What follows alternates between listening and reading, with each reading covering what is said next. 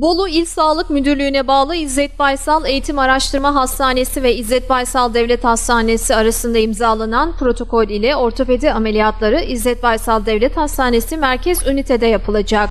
Bolu İl Sağlık Müdürü Doktor Öğretim Üyesi Muhammed Emin Demirkol yaptığı açıklamada müdürlüğümüze bağlı İzzet Baysal Eğitim Araştırma Hastanesi ve İzzet Baysal Devlet Hastanesi cerrahi işlemlerin ve operasyonların yoğun olarak yapıldığı hastanelerimiz. Kurumlarımızda yapılacak operasyonların yoğunluğunun azaltılabilmesi ve kaynakların etkin kullanılabilmesi adına İzzet Baysal Eğitim Araştırma Hastanesi ve İzzet Baysal Devlet Hastanesi arasında bir protokol imzalandı. Bu protokolle birlikte İzzet Baysal Eğitim ve Araştırma Hastanesi'nde devam eden ortopedi ameliyatlarına ek olarak İzzet Baysal Devlet Hastanesi merkez ünitede yapılmaya başlandı. Böylece ortopedi ameliyatı için hastalarımız mağdur edilmeden en kısa zamanda ameliyatları planlanarak tedavileri sağlanacak şeklinde konuştu. Demirkol son olarak protokolde emeği geçen başta hastane yönetimleri olmak üzere bu konuda duyarlı ve halka hizmet etmeyi ilke edinmiş tüm hekim ve sağlık çalışanı ekip arkadaşlarıma teşekkür ediyorum dedi.